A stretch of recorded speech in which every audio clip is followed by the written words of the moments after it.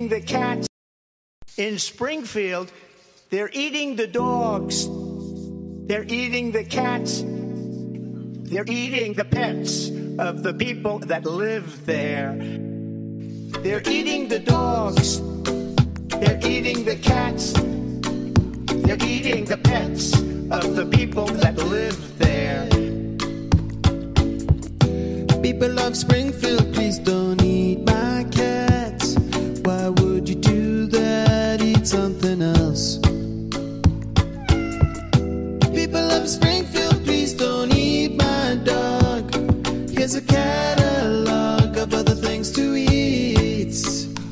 Eating the dogs. Whoa, whoa, whoa, whoa. They're eating the cats. Meow, meow, meow, meow. They're eating the pets of the people that live there.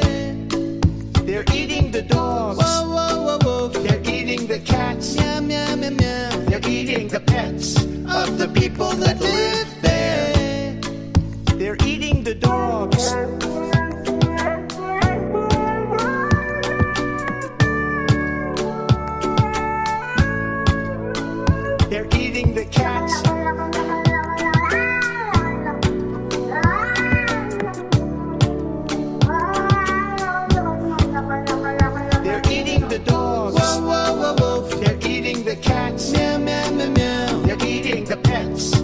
The people that live there. They're eating the dogs. Whoa, whoa, whoa, whoa. They're eating the cats. Meow, meow, meow, meow. They're eating the pets of the people that live there. In Springfield, they're eating the dogs, the people that came in. They're eating the cats. They're eating they're eating the pets of the people that live there. And this is what's happening in our country. Okay, welcome to the Opperman Report. Boy, I screwed up there. I had the intro playing, and uh, but the we weren't live yet. I kind of screwed up the timing. It's, it's a little tricky thing with the timing at the beginning. I gotta edit some stuff. But welcome to the Opperman Report. I'm your host, private investigator Ed Opperman. You could find me at Opperman Investigations and Digital Forensic Consulting. If you email me at uh, oppermaninvestigations at gmail.com. Now, if you like our show, be sure to check out our Patreon, Opperman Report Patreon. As a matter of fact, if you go there, I got all the P. Diddy stuff. Um, I got the, the indictments, um, and I got that Jonathan Oddi video. That's really good stuff, guys. You got to check that out. This guy, Jonathan Oddi, in 2018, he went and shot up the Doral Golf Course, the Trump Doral Golf Course. And then he's in, he, he gets shot himself, okay? But he's like such a monster, this guy. He's, he, you know, he's ripped uh, physically, you know, and he's, he's wearing like a hospital gown. He's bullet holes in him, okay? And he's sitting there being interviewed by the U.S. Secret Service, and he lays out 2018. He lays out everything that was in the Cassie lawsuit, and he lays out everything that was uh, uh, laid out in this indictment. Just just came out this week. Uh, so you and a lot of other crazy stuff he's talking about too. I'm going to spend more time talking about that later. So, but that's in the Patreon right now for free. That's in the free section of Patreon. Forget that. Uh, plus, a lot of great content too on Patreon. You can find there. Everything you find Monday to Friday and AMFM Radio, you can find over there at Patreon, the Opperman Report Patreon. Now, the archives are free. You go to Spreaker.com and do a live show every Friday night at 8 p.m. for now. Come January 1st, uh, they're going to discontinue this live uh, option. So I still don't know what I'm going to do. Maybe through Patreon. I don't know what I'm going to do. I have no idea what I'm going to do. If I'm even alive by then, who knows? Uh, but uh, for now, 8 p.m. Eastern Time, there's a live show every Friday night, solo show where I just talk, and then with two hours of brand new content every Friday night. Now, I know a lot of people have trouble figuring out which day of the week is Friday. So you, you have seven fingers or seven digits, right? You can count to five on one hand and two on the other hand. Or you can take a, a sock off and use toes for the last two toes, or even five toes on one foot and two toes on the other foot. And that's how you know it's Friday night when the live content comes out and when uh, what do you call it? The live content comes out and the brand new shows come out on Friday night. Let's stop here. Before I get started, I want to give a little shout out, a birthday shout out to Eliana. Uh, Eliana Nicole Preston. Uh, she's big birthday coming up, four years old. When I saw a picture of this little girl, I figured she was five or six or seven or something like that because she's so big and beautiful and she's so smart. Uh, she loves Barbies and candy, going swimming, and she likes YouTube. And this is going to be on YouTube. She can watch it there. Like all my fans on YouTube. I got so many wonderful people that love me on YouTube. I got another one, Eliana Nicole Preston. And it's her birthday coming up. So happy birthday, Nicole, uh, uh, uh, Eliana Nicole, uh, Ellie, they call her.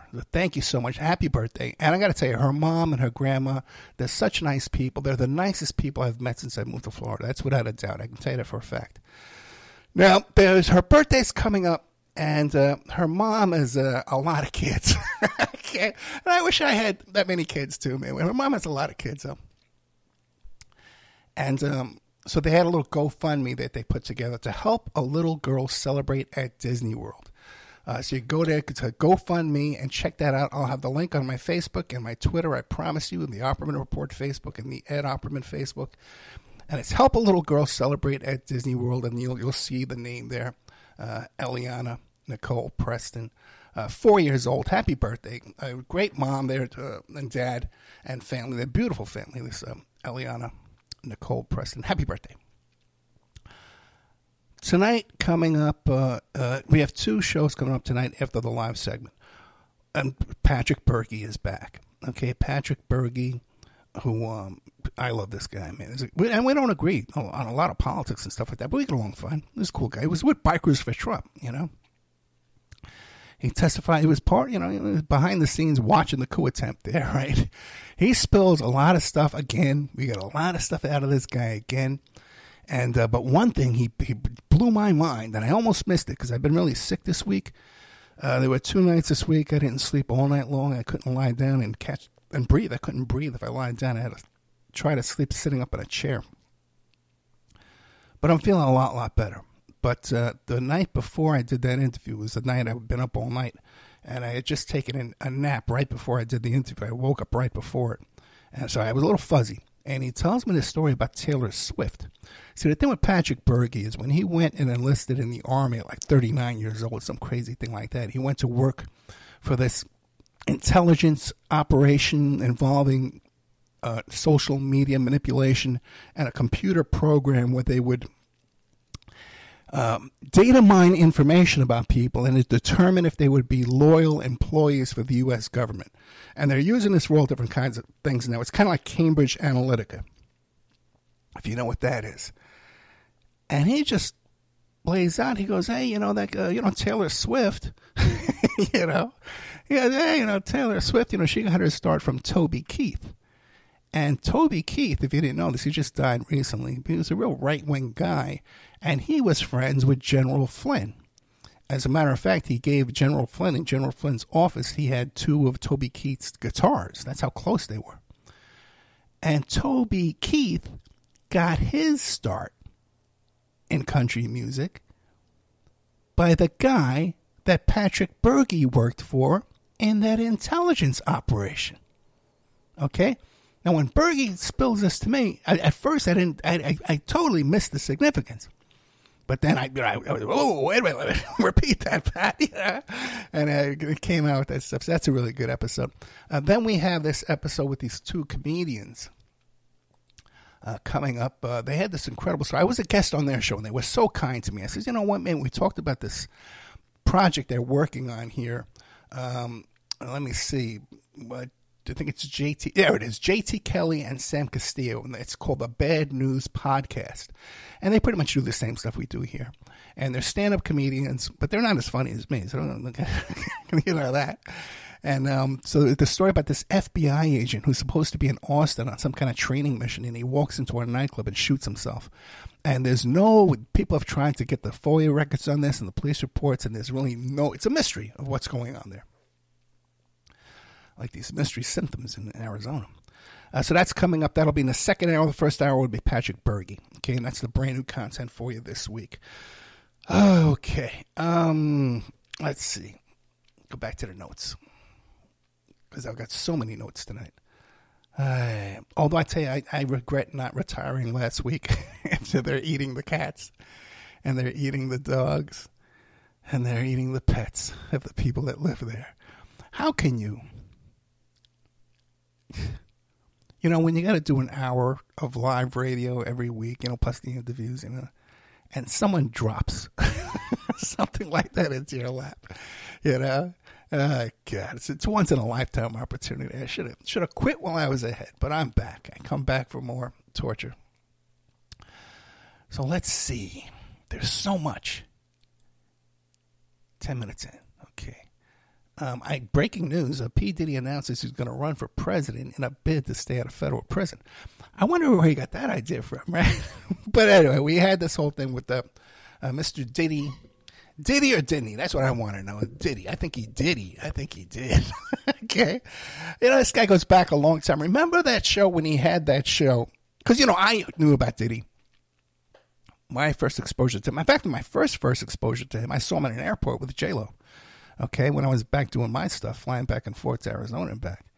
And uh, he was wearing a kind of an ill-fitting suit that was a little uh, too big for him. And uh, J Lo was a little chubby. I'll be honest with you, okay. And I, but I saw them. I, I, you know, they were standing right there. They didn't have a big security entourage around them or anything. So um, that was my first exposure to him. Then the second time uh, he came into my orbit was when I heard uh, that uh, when he shot that pregnant woman in the hand, because uh, my friend was the EMS driver in that uh, ambulance. Okay, not the driver; he was one of the techs taking care of the injured woman who was screaming at the top of her lung, "Puffy shot me in the head. I'm pregnant! Puffy shot me in the head. Ah, Puffy shot me!" And everyone, and he, the guy told me that what they were doing was they put their fingers in their ears and they went, "I can't hear you, I can't hear you," because they and Puffy was sitting there on the curb with J Lo and one of his drivers and bodyguards and he was yelling out, "I'll give you fifty thousand. I'll give you seventy-five thousand. I'll give you a hundred thousand to take the the beef for him." You know, and the, the driver did ultimately take the, the rap for him of the possession of the gun.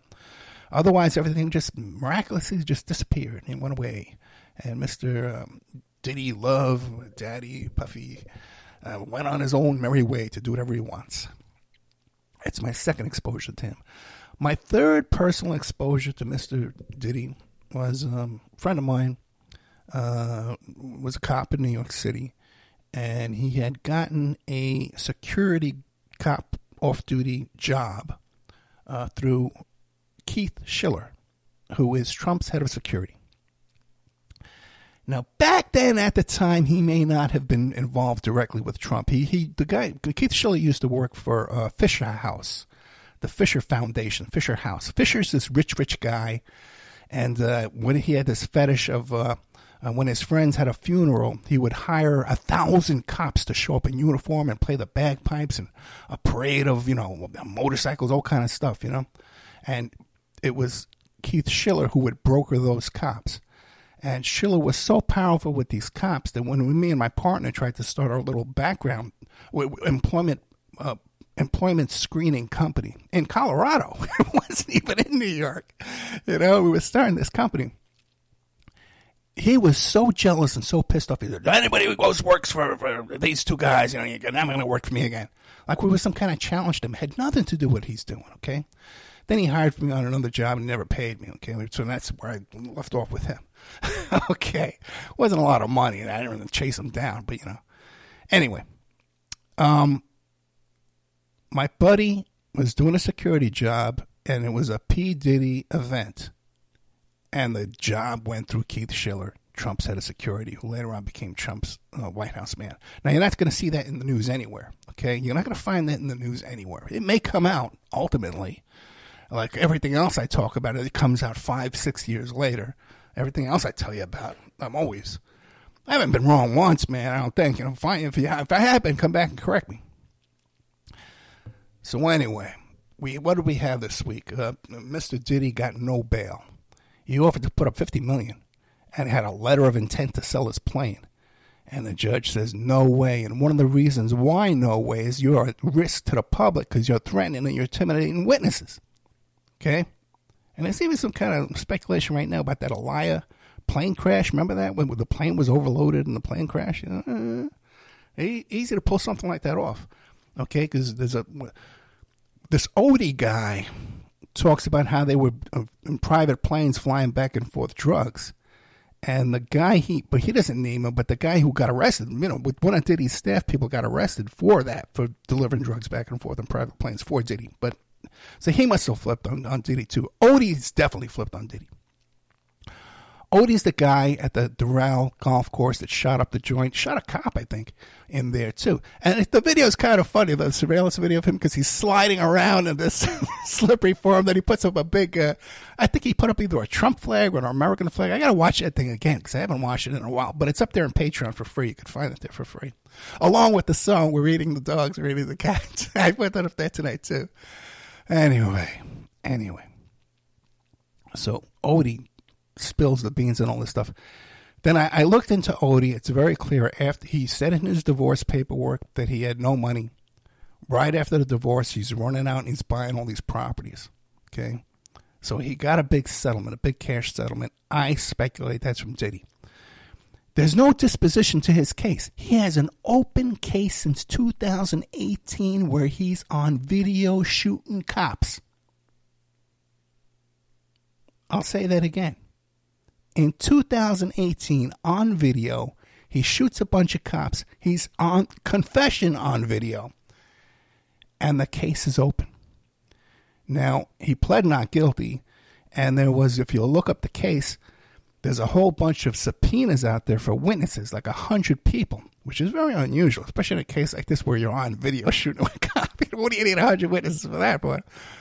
So, you know, he's using leverage of information that he has. He talks about some other stuff in there too, about the Illuminati and all kind of stuff. That I think he gets from the internet.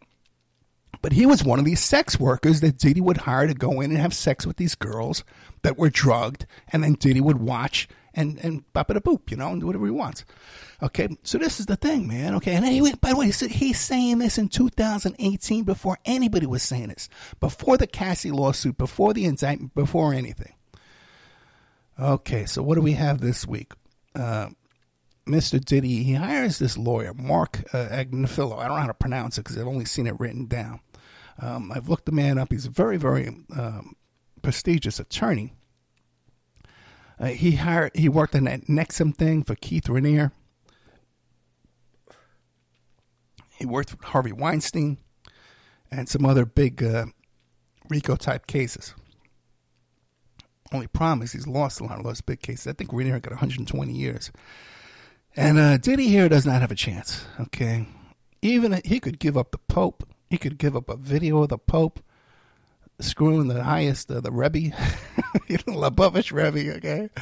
Both of them bedoodling each other and still not get out of this because he's got those firearm charges, the face and the, the fully automatic firearms, man. There's a three, he has three fully automatic firearms that are unregistered and he defaced the serial numbers off of them.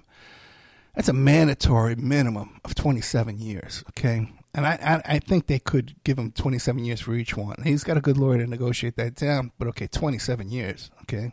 Okay? To start. The federal prison is not like the state prison, okay? Or the county, the federal court, it's not like the state court, okay? It's a whole big, it's a 97% conviction rate, first of all. And then there's no good time. You know, you do like 80, 90% of your time, man. You know, there's no good time and stuff like that. And, uh, you know, you, you do, you, it's an uphill battle to, to beat the feds. All right. Now, so they deny his bail, saying, Mr. Diddy, we're denying your bail, even though you're offering us 50 million, because you're a risk to the public. You're a danger to the public because you, you know when we've got you hear there's allegations of you arsoning people's cars and stuff like that and um, pulling guns on people you're you're going to intimidate witnesses you know you so they lose the hearing the bail hearing. Mr agnifilo appeals that hearing the very next day. So what happens? Live on tv you see Diddy's son, who's got his own lawsuit for doing the exact same stuff, you know? which, which makes you think. You know, the father's a rapist now, the son's a rapist too. You know, when does that start? You know, like uh, encourage your son to rape women. You know, or, or maybe there was some activity between them. You know, because you hear all this stuff about Puffy being gay, Clive Lewis and Clive Davis and all this kind of. You hear these things, you know, all over the place. Uh, people have been talking about that stuff for a long, long time other people, you know, other pop stars that are names that are, you know, so distraught now they're they're not in the face of the public. Maybe they're cooperating. You ever think of that? Maybe that's where they're not on the public right now. Okay. So anyway, the bill is denied because he's a risk to the public. He's a danger to the witnesses. And what does his son do? He shows up to court with 12 goons, 12 huge bouncer type guys. Okay. I would call them thugs, but but the the thing is, thugs has become such a racist term. You know, if they were white guys, I'd call them thugs. These were Italian guys, I'd say these are thugs. You know, that's what they are. But you know, every every black guy, unarmed black guy, you know, gets shot by the cops right away. The media, these people in the media start calling them thug. You know, that, that's a racist term now. It's become. So I'm not going to call these guys thugs, but they are goons, and they are bouncer types. They're they look like dangerous guys you know? And they're not even dressed for court. One of these guys is wearing a football jersey. What the hell are you doing, man? When I would, okay, I had some. Everybody knows, okay. When I was when I was around 25 years old, I had my first first case. My first case was a Class E felony uh, battery, okay, because I broke a guy's jaw. My my girlfriend's ex husband was being abusive to his own kids. He was being abusive to my girlfriend, and he was being rude to me, you know. And so I waited till one night, and I, we got him alone, and I broke his jaw, and I broke my hand on his jaw, okay, because I had already had a broken hand, but I didn't want to fight this guy anyway. And I broke my hand on his jaw. I had to go back to the hospital and have my hand reset. And then even so, I think I told the story too that while we were working on this case, I went down to the hospital and I pretended I was him and I got copies of his X-rays. Because back in those days, there was no HIPAA, no Privacy Act. You could pull off kind of stuff like that. I walk into my lawyer's office with the X-rays, and we're looking at the light. What are we, what are we looking at? We don't know. Okay, but when I would go to court, here I got, I got a battery case, right? Because you know it's a fight. So when I would go to court, I wouldn't bring 10 thugs with me. Wait, why don't I say thugs? I wouldn't bring 10 uh, my guys with me, you know? And I had guys. I had guys way bigger than his guys. When I went to court on my case, I had, I would comb my hair to the side, you know, and like slick down, you know, like a nerd. I, you know, short haircut. And then I got glasses that were fake glasses. eyeglasses that I would wear. Okay, I think I was wearing contacts. No, I probably didn't even even need contacts, but I had fake eyeglasses, like well, uh, Clark Kent like eyeglasses. I was tempted to put a little piece of tape, you know, around it, like to be a real nerd. So I had the hair, I had the glasses, and then I would wear a suit and tie, of course. You know, you do it every court, every time I'm court appearance, except you know the next morning when you showed up with your rabbit. But uh, suit and tie, and then I wore a trench coat over that, and I brought an umbrella with me. case I was like uh, uh, a British uh, gentleman in court. And even when my lawyer first saw me, he laughed when he saw me, you know.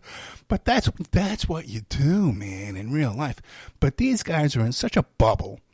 They're they're so um in their own world where they're so used to bullying people around.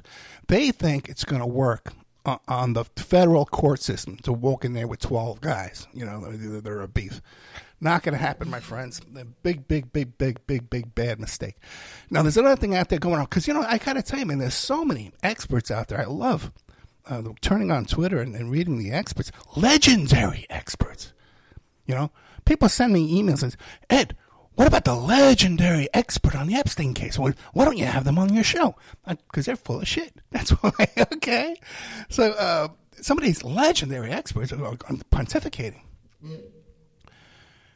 because um, Diddy's being held at MDC in Brooklyn. That it's the same jail where they held Jeffrey Epstein. So Diddy's going to be suicided, just like Jeffrey Epstein was suicided at the MDC. But the only problem with that is MDC is in Brooklyn. Epstein was held at the MCC in Manhattan. Now, these are both federal jails, um, the pre, uh, pretrial detention centers. Okay, uh, both of them. Okay, um, now both have the exact. I've been to both. Okay, I was not not as a, an inmate, not as a. I was there working as a private investigator on, big organized crime cases. Okay, that were held in federal jail before federal court. And the conditions at that time, back in like 1980 or 81, maybe, yeah, 1980, 81, the conditions back in those days were horrendous. They didn't even have air conditioning uh, in the housing where the inmates were, were housed. And the conference room where they would come meet with the attorneys and the investigators, we had air conditioning. You know, we could bring, we could sneak in food. As a matter of fact, um, we would, I'll be allowed to bring them clothes for court. Okay and we would sneak in.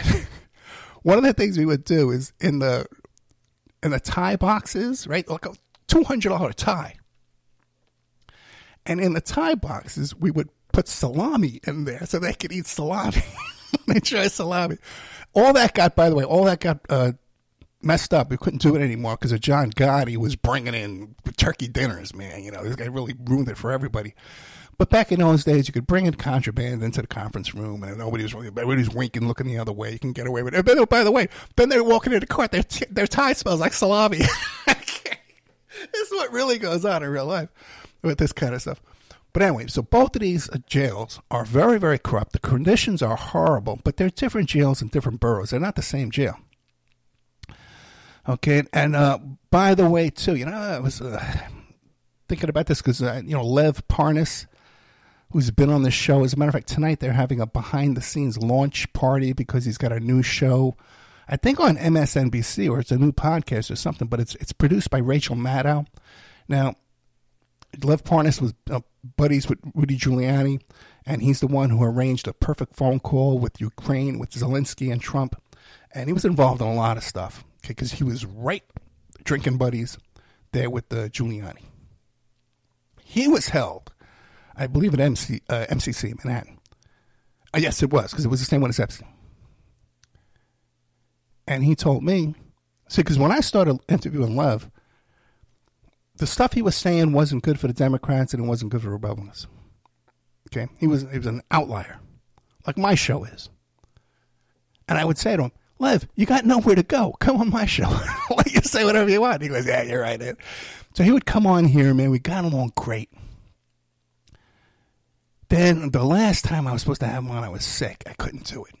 You know, but he was nice about it. He says, "Oh, don't worry. I hope you feel better." And then I never rescheduled with him because I'm a little embarrassed. Plus, I wanted to buy his book first because he knows all about the Venezuelan coup too.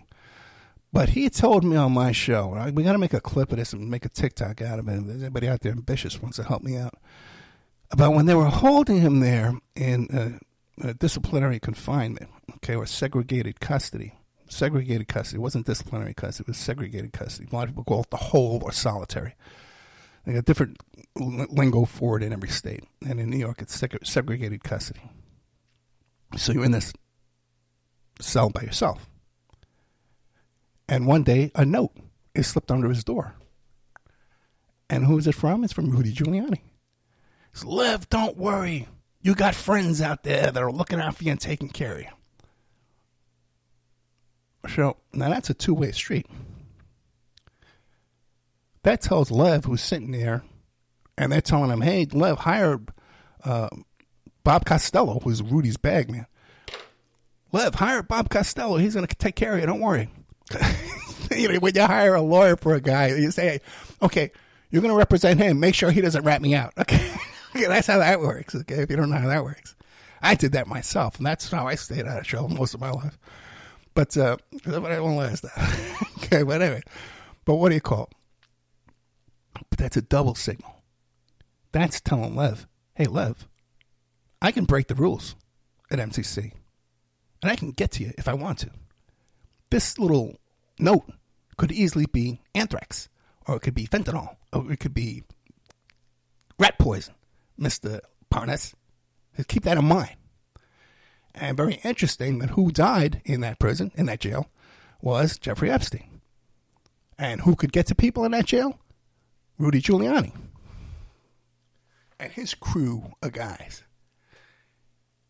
And by the way, too, remember Steven Hoffenberg? Steven Hoffenberg, who was the president of Tower Financial, Jeffrey Epstein's partner, was on this show 15 times at least. Okay, plus all the hours we talked off the air and email back and forth. Sometimes I'd be annoyed with him. I, I, I, I'd give, I'd give a to have him back now. God bless him, rest in peace. But he came on this show and he told me about when he was running Tower Financial, the Ponzi scheme with Jeffrey Epstein, that Rudy Giuliani was the corporate counsel for that company, paid $1 million a year.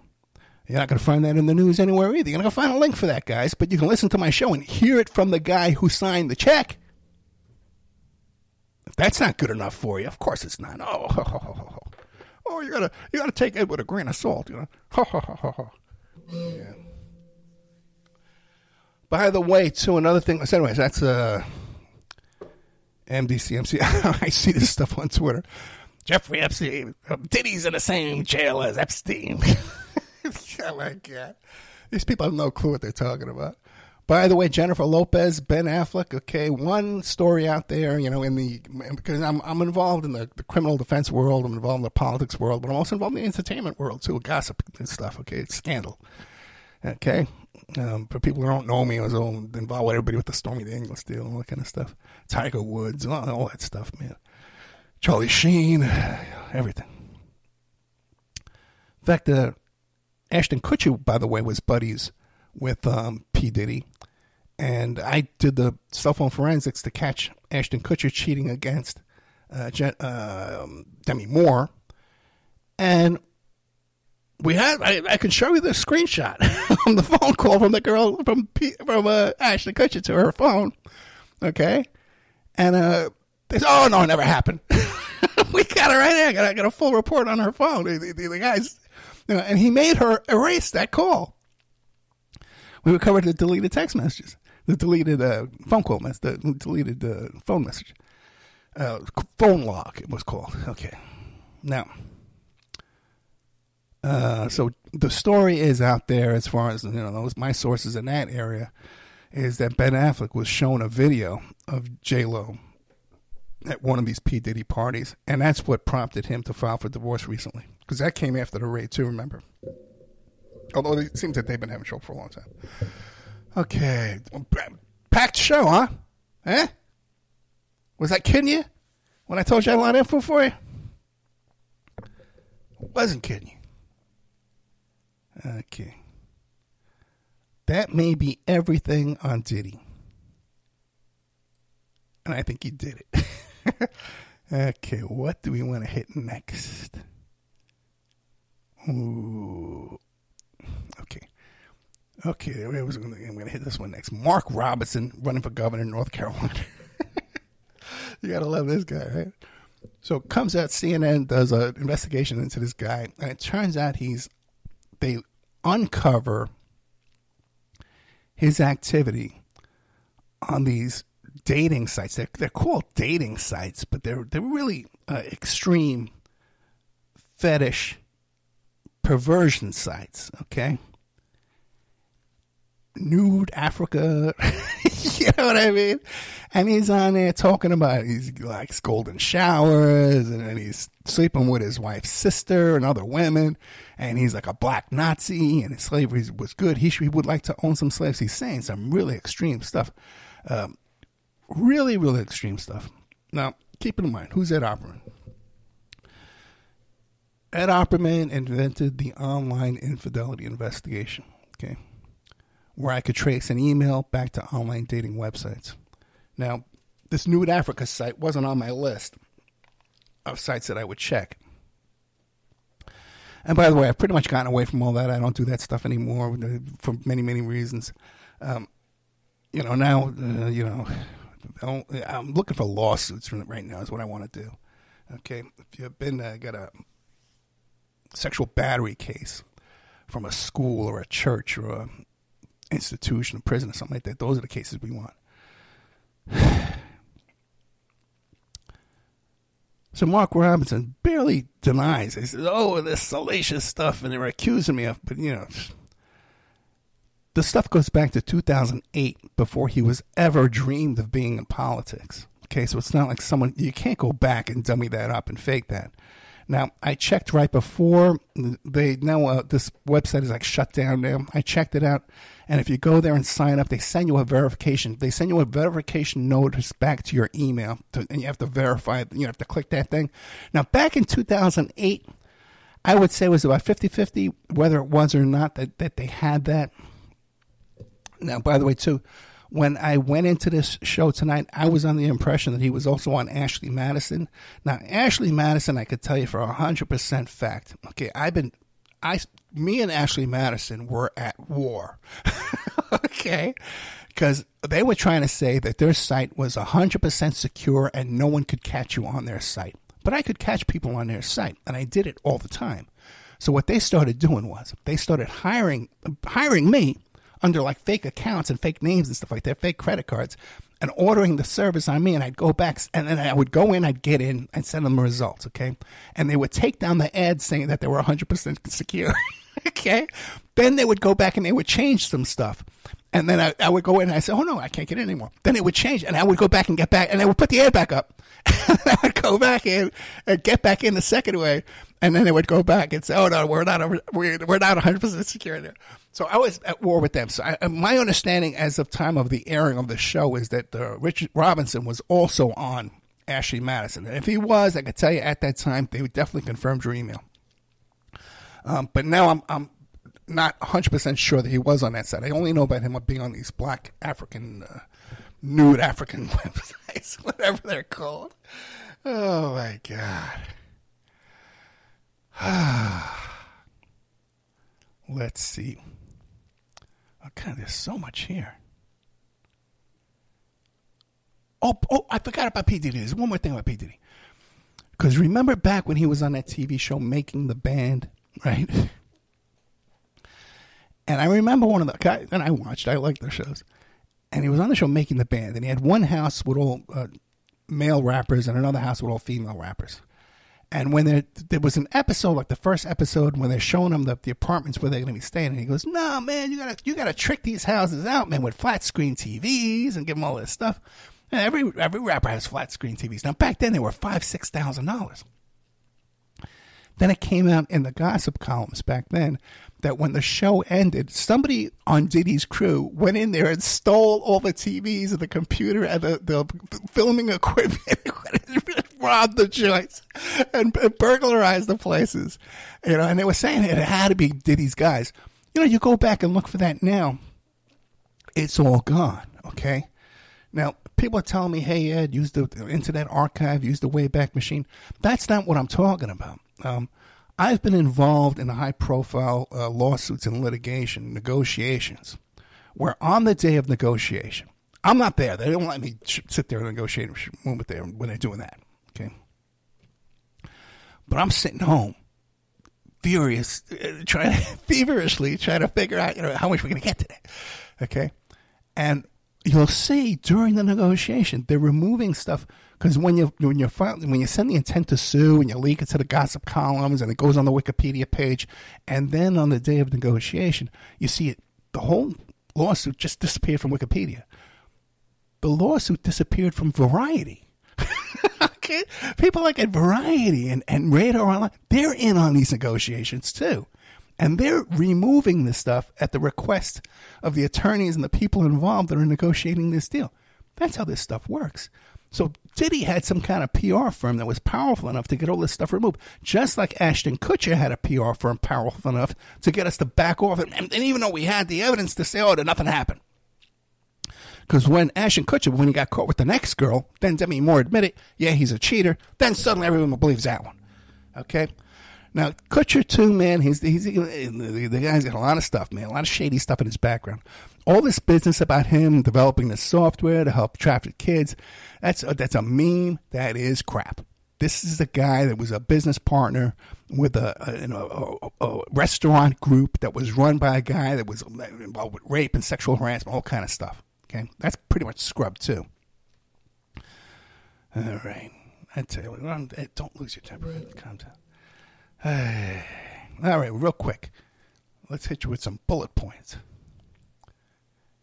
You may have seen some news about how they, in Arizona, they discovered 90,000 illegal aliens registered to vote. Okay. Well, here's the real story about that. That's a clickbait. When you know what's really going on, you know, but, you know, and then you try to argue with people. Nobody cares. Between 1994 and 2006, uh, the DMV in Arizona did not have the option. You you did not have to be a. Um, they didn't require proof that you were a, a, a resident, a citizen, in order to check off that box and reg- check off that box and register to vote. And between that time, there were ninety thousand voter registrations. We have no idea how many of them were or any kind of immigrants or illegal aliens whatsoever. We have no idea how many of those ninety thousand are citizens or how many are illegal aliens.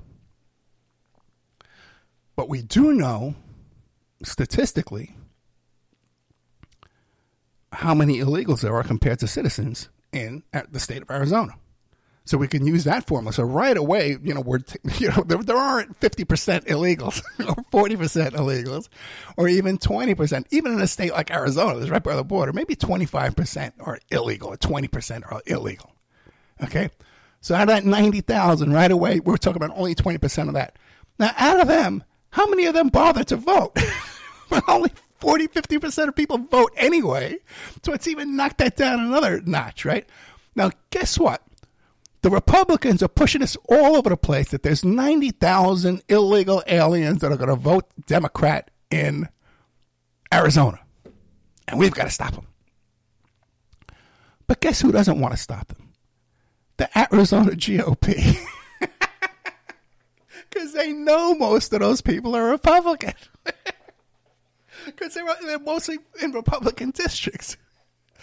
So it's so crazy. It's so crazy what goes on in the, the meme world and the Twitter world and the TikTok world and what really goes on in these offices, okay, of these political campaigns around the country. It's it's night and day.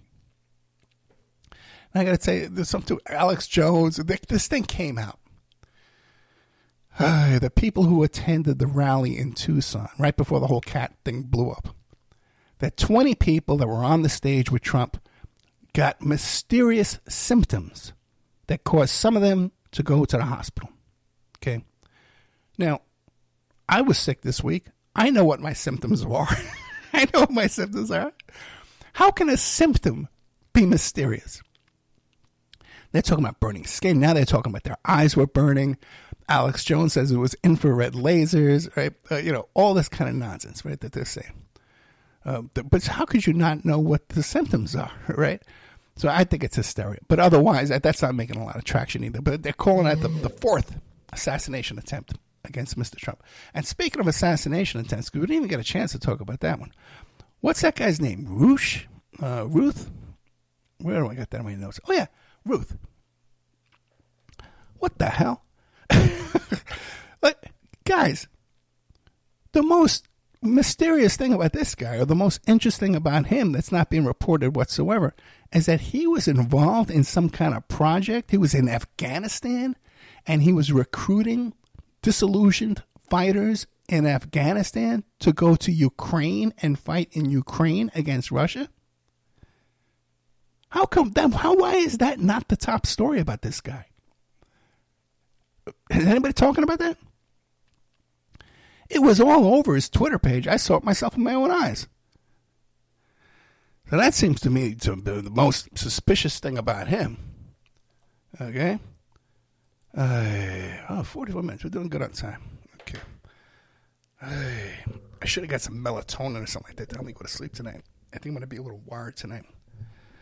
Uh, another thing that happened in the past couple of weeks I haven't been able to address is Andrew Tate uh, was raided like a second time.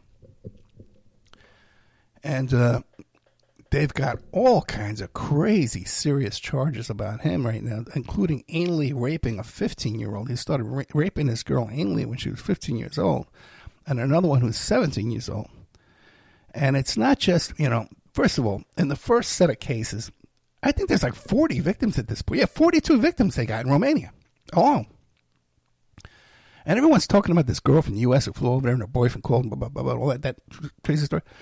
They also have psychological reports of, of all the victims in that small case. Now, this time they got wiretaps, okay, of him talking to his brother, telling his brother to impregnate these girls and get them pregnant. There's chats directly off their device. There's audio messages. There's witnesses. There's photographic evidence, closed circuit TV, financial records. Tate's own video courses, which I've talked about before, where he taught uh, the exploitation. Um, there's reports of violence and photos of the violence, medical reports, threats of violence, blackmail, and endless examples of coercion and exploitation. The whole Andrew Tate thing is totally underreported. But I got to tell you something. I, I, this was one of my questions for Bergie. I didn't get a chance to ask him. Is because the whole Andrew Tate skyrocketing to fame and power on TikTok and Instagram and Reels and all that kind of stuff. It's that same kind of Cambridge Analytica uh, media manipulation. The same thing we saw with Johnny Depp. When Johnny Depp had his case, and suddenly there were thousands of TikToks about Johnny Depp and strutting into court, you know, and oh, and look how stupid the other lawyer is, and look at how Johnny Depp's lawyer won again. Another stupid question, you know. Look how look how he dressed it. Thousands of TikToks and reels. Uh, Johnny, how come they're not now? How come everybody's not obsessed with Johnny Depp now and what he's doing? Only during his trial. That was a PR campaign that, that had access to this kind of data, man. You know, that's that's and it, seems like Taylor Swift too. I guess now. You know, where, you know, how did she skyrocket to fame? What's her talent? you know, I know people love. You know, but I, don't, I don't piss off the Swifties. That's the last thing I. I, love Taylor Swift. I am the original Swifty. I'm the biggest Swifty in town. My daughter's a Swifty. Oh, how about another thing here, too? About, about these Israeli pagers going off? Now, you guys know I've had a lot of people on the show that are CIA and intelligence and State Department and you know and all and even some of them are obviously are and they don't come out and say it. So I start nosing around about this thing. If you don't know what happened, because it's, it's really not that publicized. You got to really be a news junkie to follow this stuff. Is that Israel somehow, uh, Hamas and Hezbollah, Hezbollah it was, right? I think they're over in Syria Hezbollah. Um, they started telling their their people in their organization stop using smartphones because the Israelis can track us with these smartphones, so can the Americans, which is true. Start using beepers and radios. Now, somehow, the Mossad got into the supply chain of the manufacture of these beepers and put explosives in them that they could trigger, you know, by sending a page to, to the pages. So they had the numbers, right? And they were able to access these devices and then put them back into the supply chain and know who was using them. Because the first round of bombings, and by the way, they killed 40 people, they injured 3,000 people. Over in the Middle East right now, you're not allowed to bring a pager or a radio onto a, a, a, a plane and now these guys aren't even using laptops. It's got to be in the laptops too, right? Maybe there's one in my laptop right now. Maybe there's one in my phone right now. Maybe there's one in your phone right now. And I talk to people I know, you know, in these circles, and I says that well, I don't, we don't have that capability to do that in the United States. We don't have that capability to, to intercept the supply chain and get devices to specific people. Not that I know of, you know. So this is a whole new era of terror, state-sponsored terror, by the state of Israel. And bad enough this genocide. Now they're targeting innocent people. They just bombed a school the other day. Hey, should have quit last week. Oh, one of my chat room people says she loves Taylor Swift too. I love Taylor Swift. I love Taylor Swift. Actually, I don't know what she's doing. I don't know anything about Taylor Swift. I know a couple of her songs. Never, never, never get back together.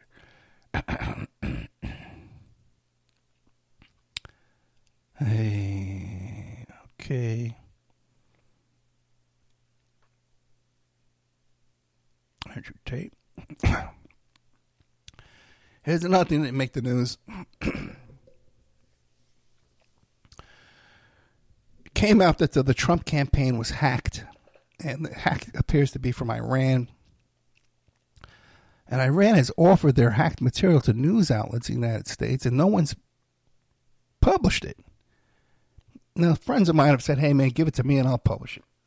I just reached out to some people at what's that Press TV that I know, and I says, "Hey, can you get out? Can you get a hold of stuff and send it?" He says, "Oh, we don't, we don't. What are you talking about? we don't know anything about that." Ed. Okay, so, but now they're saying that uh, because they gave them the because Iran tried to give the material over to the the Harris campaign, that it's the same thing as Russian interference. but the difference in this case is that we know that people like Roger Stone were running around trying to buy that Russian hack into uh, the DNC and Podesta's computer. Right? We, we, have seen it. E- even uh, Roger Stone did a whole thing with this dossier thing, you know, and, and, and, tried to give his version of the story, and he made it look like an investigative dossier with all kind of graphics on it and stuff, and a big top secret stamp on it, you know. So it's not the same thing because it's not like the, the, we find out the Harris campaign was reaching out to the to the to the Iranians trying to get that information, like Ed Opperman just did, admitted to thousands of people. That's a different story. But until then, we don't know. uh, sorry, I'm losing my voice. Um, good, we're doing good. Okay, now a couple of things here, man. Oh, Matt Gaetz, damn new. I don't have the copies of the paperwork yet, man, and it's kind of pissing me off because there's guys I know who have it. Come on, guys, give me a call, please. Return my messages. I think I, I, uh, uh, what do you call it? Uh, um, uh, not offended, kind of uh, ostracized some people, you know. I run this Gaetz situation, maybe being a little too pushy about things. But there's guys out there who I know have this newly uh, newly filed Gaetz court docs where they describe the party where he was at with this 17 year old. Now, I've heard about this story many, many times with this lobbyist. I don't have it written down in front of me. I really I dropped the ball on this one. I apologize. I didn't even know. I, this would have been one of my top things. I'll do it next week. Or maybe I'll do a show midweek about this whole Matt Gaetz thing.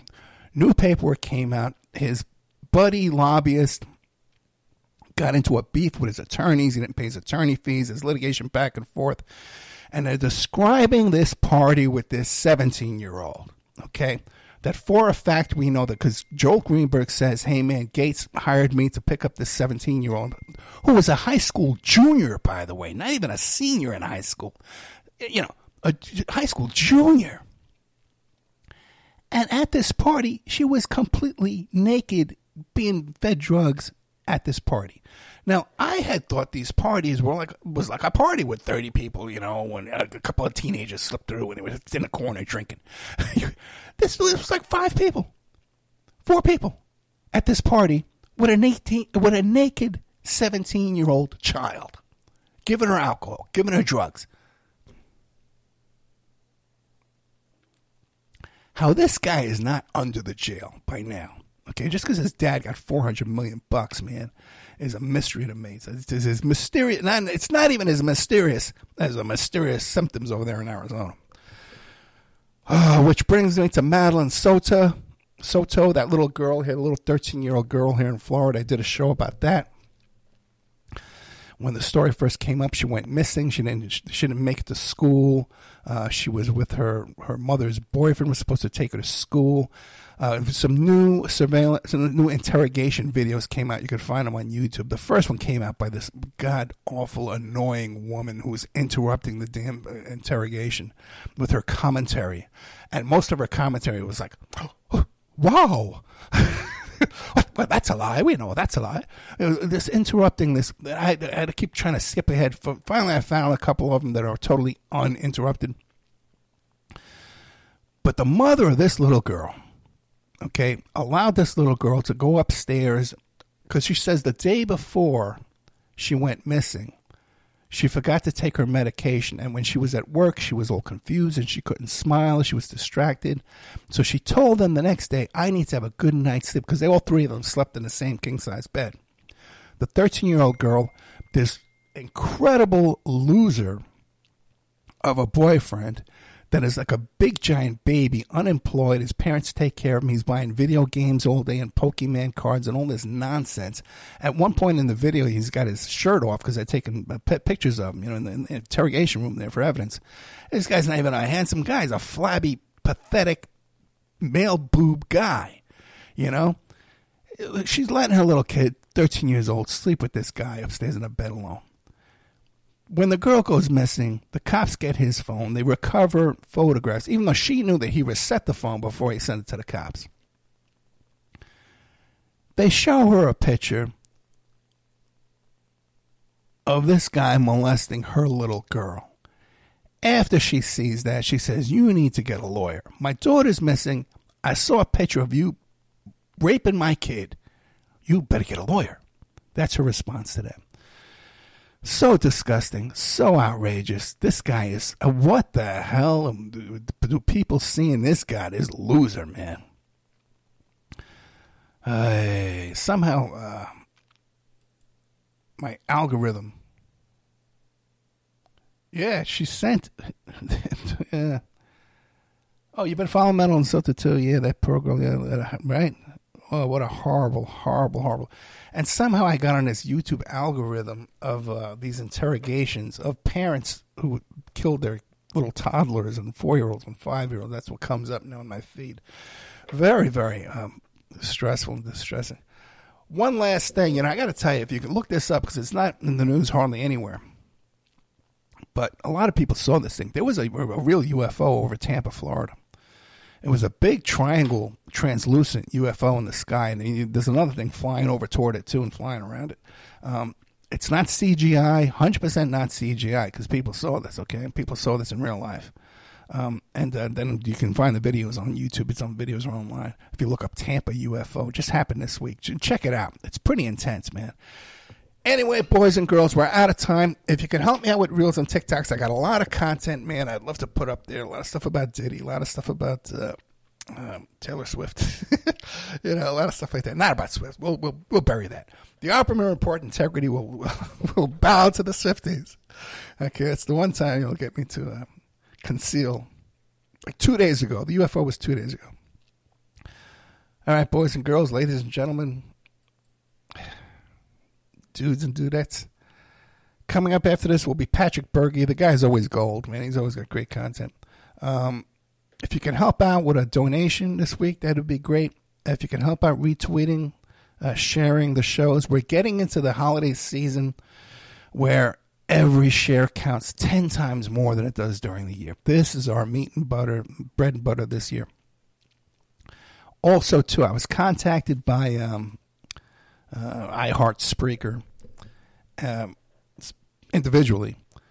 And I said, Ed, if you got any big guests coming up that we can promote to our advertisers, we could tell them, hey, Ed's got a big guest. It's going to have a lot of uh, traction, a lot of hits. We can get you live read ads on that show, okay, which is you know good money. So if you can think of a really, really good guest, man, because right now I'm going to be putting some work into reaching out to, you know, like like Lev Parnas, man. I reached out to him. He's about to be on MSNBC. You know, that would be a huge guest. But I, I think uh, now he doesn't need me. You know, so I don't think he's. We're still chatting, but uh, he hasn't committed to coming on. Although he's kind of gives me a smiley face and things like that. I don't know what to tell you. I got his number if I really want to bug him. Anyway, so if you can find me a real good guest this week, man, guys, really big guest. Think big, think big, and I'll, I'll put the pressure on them. You know, normally, I, I if a guest is a diva, I don't. I say, hey, screw you. I'm willing to put up with a diva guest at this point. All right, guys, I love you so much. I really do, man. Thank you so much. And and Ileana, I know you're not listening at this point of the show. I hope. okay, after all the things I've been talking about. But happy birthday to the little girl there, man. And go to the GoFundMe, man, for this kid. Um, they're really good people. They're really, really good people. They've helped me out so much here in Florida. And the GoFundMe is called uh, Help a Little Girl Celebrate at Disney World. And her name is Ileana Nicole Preston. Hey, God bless you guys. Good night.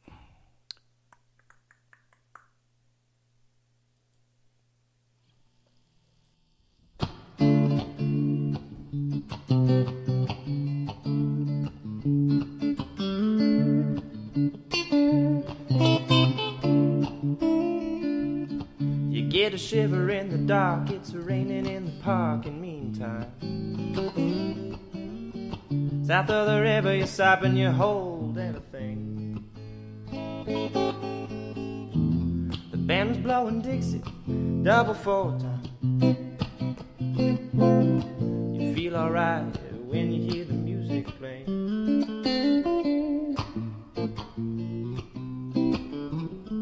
Where you step inside, but you don't see too many faces. Coming in out of the rain to hear the jazz roll down. A competition in other places. But the horns are blowing that sound. Way on down south. Way on down south London town.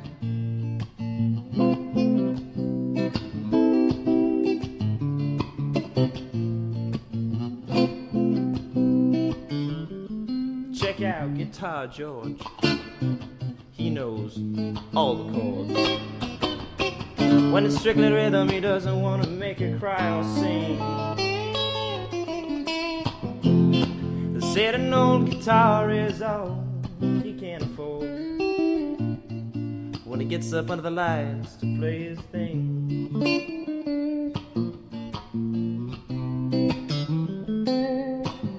And Harry doesn't mind if he doesn't make the scene. He's got a daytime job, he's doing alright. He can play the honky tonk like anything. Saving it up for Friday night. With the Sultans, with the Sultans of Swing.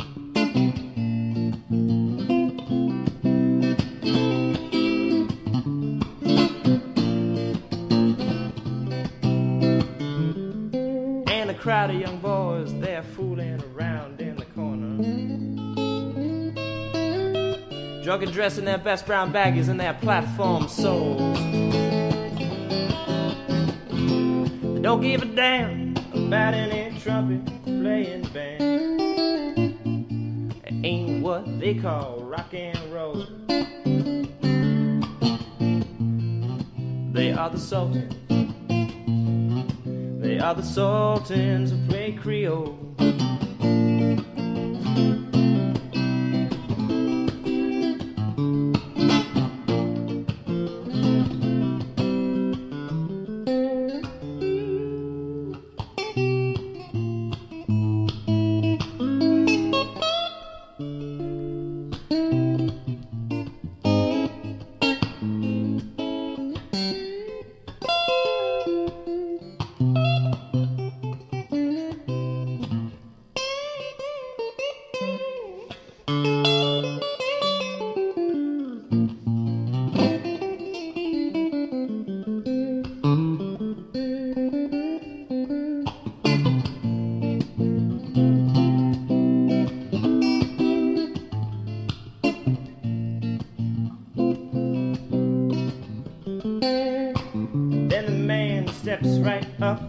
Microphone.